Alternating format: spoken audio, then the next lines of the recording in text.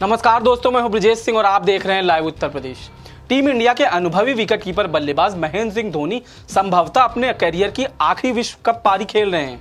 अब तक विकेट के पीछे और बल्ले से उनका प्रदर्शन शानदार रहा है। लेकिन धोनी को मौजूदा विश्व कप में धीमी बल्लेबाजी के लिए काफ़ी आलोचनाओं का सामना करना पड़ रहा है। ऐसे में कयास लगाए जा रहे हैं कि विश्व कप के बाद धोनी संन्यास ले लेंगे।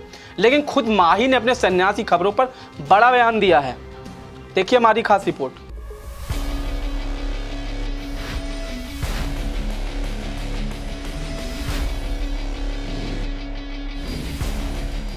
भारत के दिग्गज खिलाड़ी महेंद्र सिंह धोनी के वर्ल्ड कप के बाद संन्यास को लेकर अटकलें लगातार जारी हैं। किसी का कहना है कि वो वर्ल्ड कप 2019 में टीम इंडिया के आखिरी मैच के बाद संन्यास का ऐलान कर देंगे।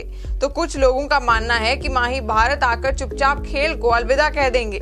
इन अटकलों के बीच महेंद्र सिंह धोनी ने खुद ही इस सवाल का जवाब दे दिया है।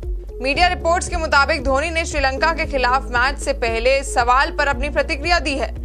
धोनी ने कहा है कि उन्हें खुद नहीं पता कि वो संन्यास कब लेंगे। उन्होंने आगे कहा कि मुझे नहीं पता कि मैं कब संन्यास लूँगा, लेकिन कुछ लोग मुझे श्रीलंका के खिलाफ मैच से पहले ही रिटायर करना चाहते हैं। ऐसी ही खबरों के लिए बने रहिए हमारे साथ लाइव उत्तर प्रदेश, लखनऊ।